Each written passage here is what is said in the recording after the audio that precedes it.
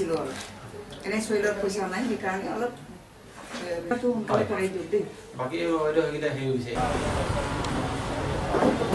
Sudden visit মানে মই ইয়াত আহ, আমাৰ পংকজতাপ দাস তেখেত আমাৰ এগ্ৰিকালচাৰ অফিচাৰ হয়।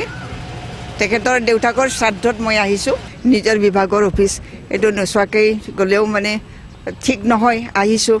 অলপ চাই কি কি হৈছে কি অ- অসুবিধা সেইটো মই তেওঁলোকৰ লগত বহি পেলাই আলোচনা কৰিলোঁ। এনে খালী পষ্ট আছে খালী পষ্ট যদি আমি এডভাৰটাইজ কৰিব পাৰোঁ বহুত নিবনুৱা যুৱকবিলাক সোমাই যাব পাৰিব।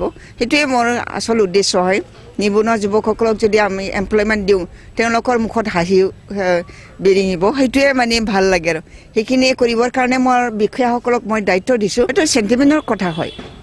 যে কোনোবা প্ৰাইভেটাইজেশ্যনৰ কাৰণে যদি সিদ্ধান্ত লয় গতিকে এইটো অসমীয়া মানুহৰ চেণ্টিমেণ্ট হৈ যায়। গতিকে সেইটো প্ৰতিবাদটো চলিবই আৰু চলিব লাগে। এই গণতান্ত্ৰিক পদ্ধতিত যিটো নিবিচাৰে সেই নিবিচাৰেতো সেইটো প্ৰদৰ্শন কৰিব লাগে। সমষ্টিৰ পৰা এতিয়াও কেণ্ডিডেট ঠিক কৰা নাই। আমি আমাৰ নেতৃবৰ্গই বিচাৰি আছে কাক দিয়ে সেইটো জানিবৰ কাৰণে খুব হেঁপাহ কৰি আছে। কিন্তু এতিয়ালৈকে আমাৰ বি ডি চি চিফ তথা আমাৰ দলৰ নেতা হাগ্ৰামা মহিলাৰী তেখেতে মনে মনে আছে। মানে যেতিয়া ডিক্লেয়াৰ দিব তেতিয়া মানে আমি ঠিক কৰিলেই হৈ যায় বুলি তেওঁ কৈছে আৰু আমাক।